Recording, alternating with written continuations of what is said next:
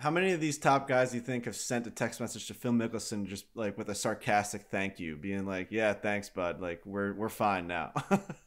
he this is you know he's going to feel a little bit better about himself. I think you know this is this is kind of what he was wanting, kind of what he was asking for. Did he go about it the right way? Probably not, but he will definitely sleep a little easier tonight, knowing that there are a bunch of guys on the PGA Tour, top players who are probably happier now than they were two or three years ago. they have got a better situation now. They're going to make more money.